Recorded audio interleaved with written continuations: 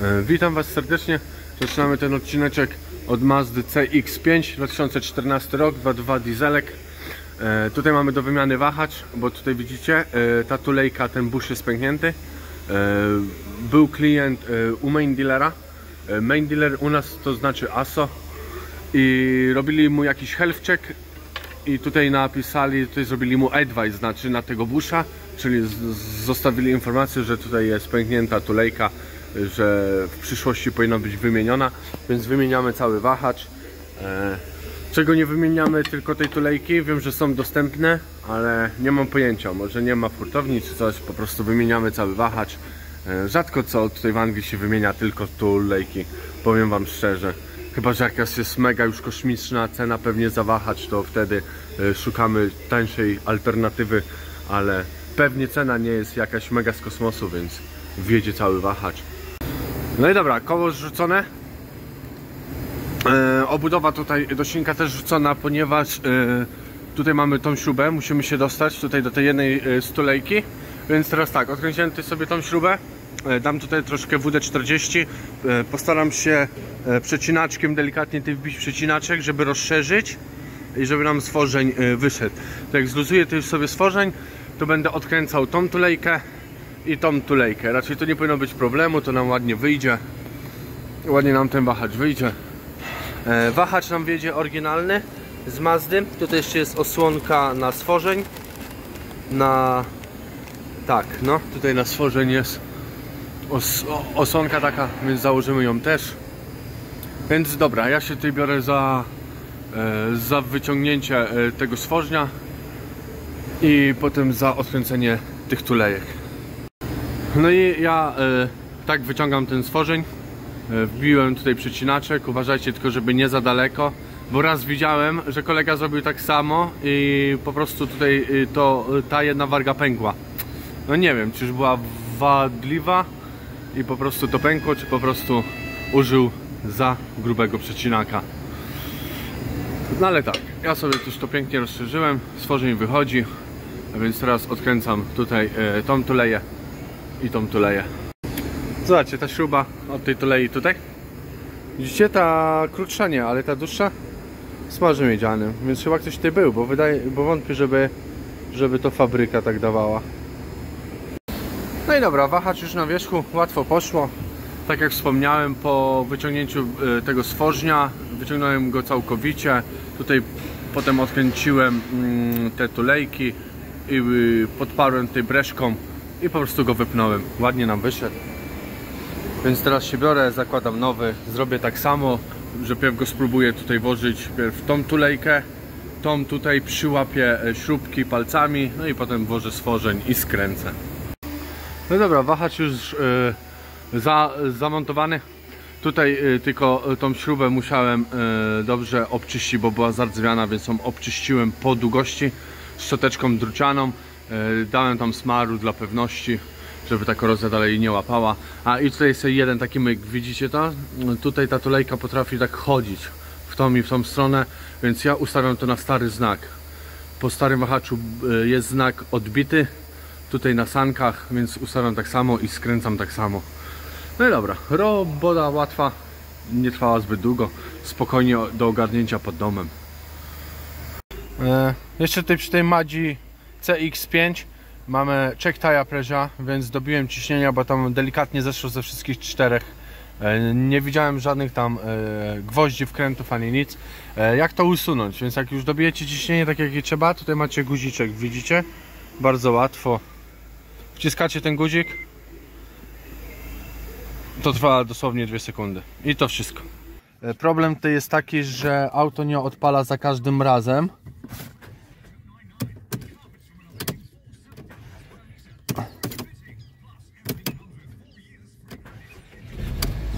No, odpaliło za trzecim, więc tutaj postawiliśmy e, na rozrusznik, więc będziemy e, tutaj wymieniać rozrusznik w A-klasie 2017 roku, 1.6 benzynka. No i dobra, jest już ta A-klasa na rampie, więc e, rozrusznik już widzę jest tam. Raczej nie powinno być ciężko, mam taką nadzieję. Ale tak, pierwsze co od czego zaczniemy to odepniemy baterię całkowicie. Po odpięciu baterii wyślę go do góry, zrzucę obudowę i zobaczymy jak to wygląda. No i dobra, po zrzuceniu obudowy tutaj nam rozrusznik się pokazał. Fajna, łatwa dostępność do niego. Tutaj odkręcimy tą śrubę, bo tu jest masa przykręcona. Tutaj ściągniemy kapturek, odkręcimy prąd i mam nadzieję, że śruba druga, która jest tam, jest, jest też kręcona z tej strony, a nie z tamtej. No bo jak będzie z tamtej, to będzie jeden mały problem, bo tutaj mamy katalizator. Ale byćmy dobrej myśli. No i na całe szczęście śruba jest druga na górze też kręcona z tej strony. Więc to nam ułatwi sprawę. No i rozrusznik już wykręcony, tutaj fajnie. Tutaj mam dwa przewody, które idą do rozrusznika prosto. Trzeba je wykręcić. Ten jeden to jest masa, jest skręcony do dolnej śruby. No i tutaj dwie śruby. I rozrusznik już nam wyjechał. Fajna, łatwa robota. Idę zobaczyć, czy mamy już nowy. Dobra, już rozrusznik nowy jest. Teraz sobie go sprawdzę, czy wszystko wygląda tak samo. No wygląda identycznie. E, Rozrusznik jest firmy Cargo. Nie wiem, pierwszy raz widzę taką firmę, naprawdę. Jakiś zamiennik. Dobra. Wsadzamy go. No różni się jedynie tylko tym, że ten ma tutaj zabudowę, a ten tutaj nie ma. Ale teraz się nam nie powinno przeszkadzać, bo ten rozmiar jest taki sam. No nic, zamontujemy, zobaczymy. Czy będzie nam to przeszkadzać, czy nie. Ten jest troszkę dłuższy. Delikatnie wygląda inaczej. No ale jeśli w hurtowni twierdzą, że się nadaje do tego auta, więc im zaufamy. No dobra, rozrusznik już wymieniony. Zaraz zobaczymy, czy się pacjentowi poprawiło. Czy to był rozrusznik. No i super. Teraz odpala od, za pierwszym razem. Wcześniej był problem, widzieliście. E, dobra, następny pacjent to jest Nissan X-Trail. E, pamiętacie go, prawda? On był już w jednym e, z odcinków. Tam był wyciek oleju, gdzie postawiliśmy na turbinę, bo obczyściliśmy to i jedyny wyciek jaki był, to był wyciek z turbiny, więc tutaj klient sobie sam ogarnął turbinę. My tylko mamy to wymienić. Wymienimy turbinę, wymienimy olej i filtr. E, bo przy wymianie turbiny e, by się przydało. E, To więc tak, bierzemy go na rampę, wymieniamy turbo i wymieniamy olej i filtr. No i tak to wygląda tutaj, powiem Wam, że zażygana jest cała, od spodu pewnie też. No i tak, co tutaj będzie trzeba e, zrobić, żeby dostać to turbo? Pewnie trzeba wiele rzeczy odkręcić dookoła, tam już widzę przewód z wodą, który będzie trzeba wykręcić. No więc tak, ja sobie tutaj od kulera y, poodkręcam y, wszystkie te węże. Y, Tutaj chyba kuler ściągnę, żeby mieć więcej miejsca. No i zobaczę jak to będzie wtedy wyglądać. No i tak, tutaj Wam chciałem pokazać co już zrobiłem, bo potem będzie troszkę ciężko Wam wytłumaczyć. Kuler już ściągnąłem. Tutaj w ogóle e, brakuje dużo śrub, ale to w ostatnim odcinku chyba wspominałem o tym. To jest wszystko luźne. No i tak, tutaj e, ten wąż e, sobie do kulera od turbiny odkręciłem już. Tutaj uszczelki w ogóle brakuje. Ktoś nie dał uszczelki. Nie wiem, czy teraz zamówiłem taką uszczelkę. Jak nie, to dorobię, dotnę. E, tutaj sobie całe, e, cały ten vacuum mm, solonate wziąłem na bok, żeby nam nie przeszkadzał. E, Tam jest kuler. Nie, nie tutaj, sorry. Tam jest kuler. E, Więc tak, teraz jeszcze odkręcę tutaj e, tą rurę do turbiny. Tam są dwie nakrętki, widzę. Tutaj z opaski ją ściągnę. Wyjedzie nam, ściągnę tutaj tą osłonę do kolektora. No i potem zobaczę od dołu, jak to wygląda. No i dobra, tu już ściągnąłem ten drugi wąż. Powiem Wam, że no oleju w rurze tutaj, co idzie do filtra powietrza jest sporo, więc ją będę musiał zdemontować, wyczyścić, spojrzeć jeszcze na filtr powietrza. Nie wiem, czy też nie wymienimy filtra powietrza, ale tutaj już widać, widzicie? W turbinie jest olej. Zaraz e, wyślę do góry auto, zobaczymy od spodu jak to jeszcze wygląda, ale zanim go wyślę, to ściągnę sobie tą obudowę. Tutaj ona ma raz, dwa, trzy śrubki. Tutaj jednej brakuje, więc odkręcimy z tych dwóch i powinna wyjść łatwo. No i dobra, ja sobie tu spuszczam y, płyn chłodniczy, w sumie płyn, jakbym to mógł nazwać płynem, to jest sama woda, to nawet i dobrze, że to robimy, to dostanie świeży płyn. No i tak, bo muszę tutaj y, pozbyć się y, tego węża, tutaj co nam idzie, opa, bo on będzie na mojej drodze. Wi- Widzicie? Więc go muszę się pozbyć, dlatego spuszczam płyn chłodniczy i mm, tą turbinę to na pewno będę musiał wymontować y, z kolektorem wy- wydechowym i z tą częścią wy- wydechu. Więc tutaj sobie to rozkręcę, tutaj żeby mieć miejsce i on nam będzie z tą częścią wydechu i z kolektorem. Y, Potem sobie wezmę przewody, poodpinam i powinno nam wyjść. Ale widzi- widzicie tutaj ten wyciek? Już jestem na pewno święcie przekonany, że to stąd cieknie. E, Dobra, mamy już tu nową turbinkę. I tak, mm, turbinka przyszła z firmy e, Ridex. Coś takiego. I tutaj są uszczelki wszystkie, olej i instrukcja. Instrukcja jest w języku angielskim i w niemieckim. Więc już nawet podejrzewam skąd ta turbina jest. Ta turbinka przyszła z takiej hurtowni o nazwie Autodoc. Na pewno, bo klient sam sobie ją zamawiał, akurat miał czas, bo kiedy my go sprawdzaliśmy przed świętami, i to chyba grubo przed świętami, więc pewnie zamówił z Autodoka. Aut- Autodoc w sumie dobra hurtownia, nie mogę nic złego o nich powiedzieć. E, więc tak, tutaj macie instrukcję, co trzeba zrobić, bla bla bla, co trzeba sprawdzić, olej, filtr trzeba zmienić, oczywiście, tak jak mówiłem na początku. No i tak, co tutaj, jak tutaj to wygląda? Wygląda to tak, że jeden problem, który będzie, już tutaj czekam aż mi woda spłynie, żeby tutaj y, odkręcić stąd ten uchwyt do wody, no i tam ten wąż, no i tutaj gdzie się nam trzyma, żeby go y, wyciągnąć całkowicie, żeby mógł wyciągnąć to i potem zobaczę, czy może da się radę odkręcić tą część wydechu i po prostu y, ją ściągnąć osobno, czy po prostu będę je wyciągał razem z turbiną i z kolektorem. Jeden problem, co będę miał, to będę miał ten przewód, co zasila mm, tą turbinę w olej i powrót, bo on jest tam dosyć sztywno i tam będzie troszkę kijowy dostęp. Zobaczcie tutaj, rudo.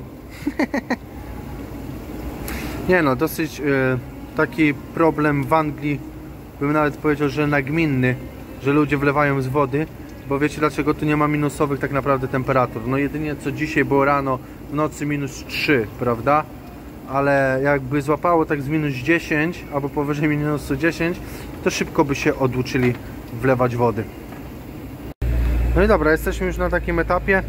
E, Tutaj yy, pozbyłem się tego węża, tutaj go odkręciłem, widzicie, on idzie tutaj do chłodnicy. Tutaj śruba była urwana, jest gdzieś tam w bloku, a tutaj jest obudowa do termostatu.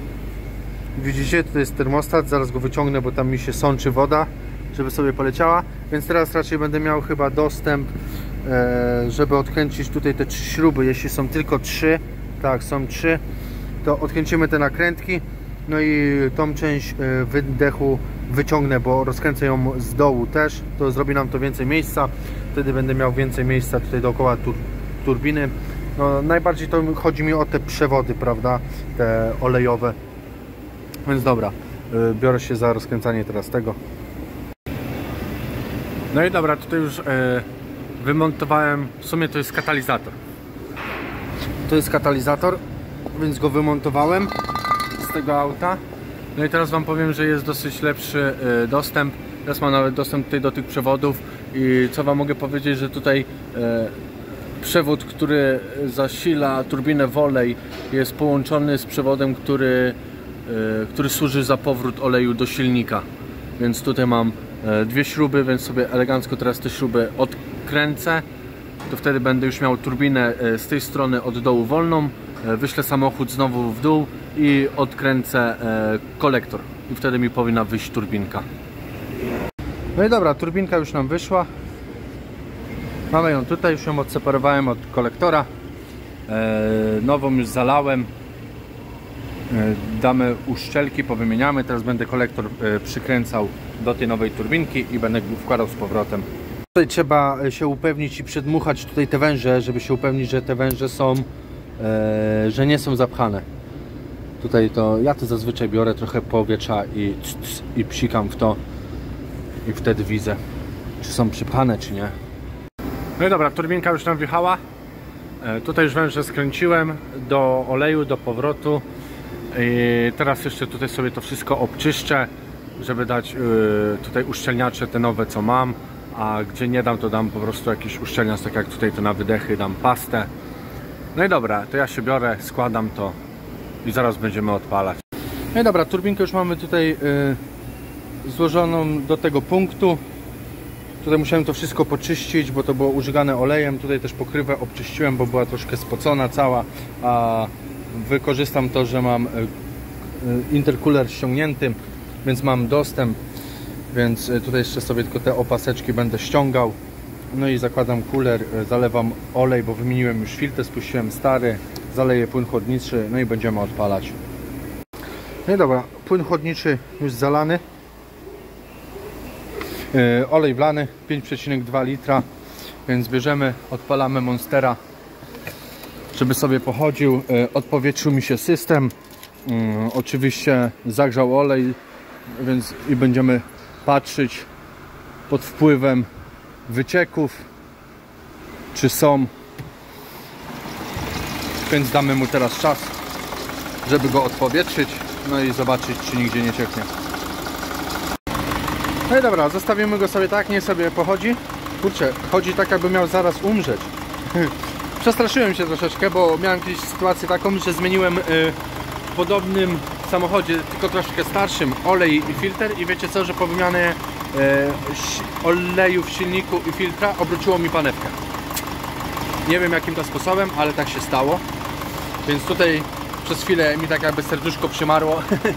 Ale nie, no on tak po prostu ma taką kulturę pracy, nic na to nie poradzimy, zostawimy, niech się zagrzeje, odpowietrzymy system, zobaczymy czy nie ma wycieku, a za ten czas idziemy do innej robótki. Na rampie mamy e, Volvo XC70, jak się nie mylę. Zapomniałem Wam e, nagrać, tak, XC70 to jest e, cross country i tak, rdzy jak rdzy, mamy tutaj zrobić e, health check i klient narzekał coś na dziwny dźwięk podczas jazdy, jakby stukanie czy coś. No i zobaczcie co odkryłem. Widzicie tutaj wał pędny? Ach, nie mam jak tam rączki włożyć, bo gorąco, ale chcę wam coś pokazać. O, tak będzie widać lepiej z tej strony. Zobaczcie. Widzicie te śruby? Do, do transferu.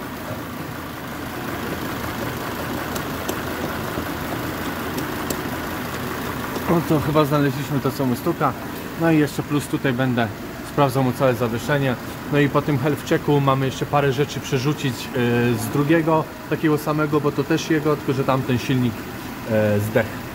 Więc yy, chcę sobie przerzucić parę rzeczy, no i tamten prawdopodobnie pójdzie na złom. Ale no to widzicie, takie jaja. Śruby się zluzowały.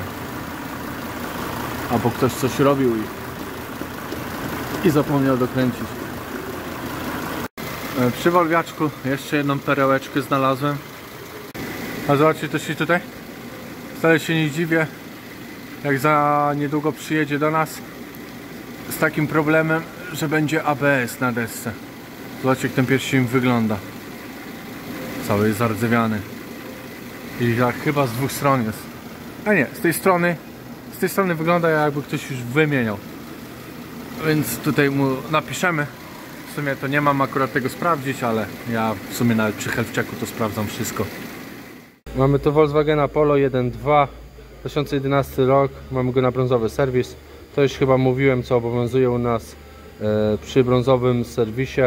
Musimy wymienić e, olej i filtr oleju, no i sprawdzić całe auto dookoła, zeskanować, usunąć błędy.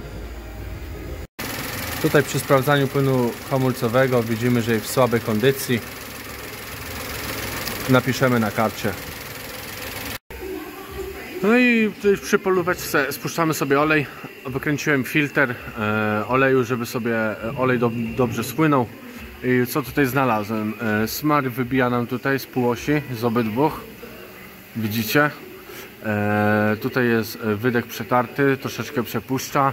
E, tutaj pasek jest wytarty i delikatny wy, wyciek jest na kompresorze. Więc to wszystko zostało już napisane na karcie. No i ten płyn hamulcowy jest w złej kondycji i wycieraczki są też w złej kondycji. Bardzo marzą. No i to w sumie na tyle byłoby z tej polówki. Napiszemy to wszystko na karcie, zobaczymy co klient sobie będzie chciał zrobić. A ja dalej czekam, żeby olej sobie spłynął. Zalewam świeżym. Karta już wypełniona i może jechać w świat. Mamy tutaj Citroena Relaya 2020 roku. Był w jednym z warsztatów, bo ma na desce e, komunikat, że e, klocki e, są już wytarte. I pojechał do jednego z warsztatów, w jednym warsztacie powiedzieli, że oni nic nie widzą. No, dla mnie to definitywnie tutaj ten klocek, ten sensor już, do, już dotyka tarczy. Tutaj będą tylnie klocki do wymiany. A tutaj zaraz nie wiem czy tak wam pokażę. Opa. Ale chyba raczej wam nie pokażę. Opa, o pokażę wam. Widzicie ten klocek? To już wiem dlaczego, mm, dlaczego tak stwierdzili, że nic nie widzą, bo pewnie nawet nie zajrzeli e, od spodu. Co nie? Nie sprawdzili tutaj od tej strony klocków, tylko obeszli dookoła, sprawdzili klocki od zewnętrznej strony. No i ten tutaj, powiem wam, no, że nie wygląda e, tak źle. No widzieliście, nie? No i tak, następny y, pacjent to jest y, Volkswagen y, Polo 1.4 2006 rocznik. Jest check engine control ma na desce rozdzielczej więc musimy wymienić ten czujnik. To jest NOx sensor. Teraz muszę znaleźć gdzie on się tutaj przy tym silniku mieści. No tak, auto całe mokre. Dzisiaj ogólnie mokro w Londynie no ale tak, w Londynie narzekać na ten deszcz to tak jakbyś mieszkał w Hiszpanii i narzekał na słońce. no i dobra, czujnik już został zlokalizowany. Jest tutaj z tyłu bloku, widzicie? Zaraz go będę rozpinał, wykręcał, będę przykręcał nowy, a i przykręcając nowy musicie go przykręcić z odpowiednim momentem dokręcenia. Musicie sprawdzić na autodacie ile jest, bo jak dokręcicie go za mocno to go uszkodzicie i będzie wam znowu głupoty pokazywał.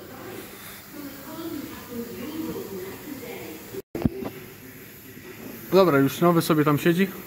Złapałem go e, palcami, bo teraz będę go dokręcał kluczem dynamometrycznym i dokręcenie je, jest 20 Nm NOx sensor. Wydaje mi się, że większość tych czujniczków jest e, kręcona na 20 Nm, ale lepiej sprawdzić. No i dobra, tutaj już usunąłem kody. E, przy tej polóweczce check engine zniknął, auto już sobie chodzi. Więc to mu pomogło, to był czujnik. E, mamy tutaj Peugeota 3008, bodajże 2016 rok.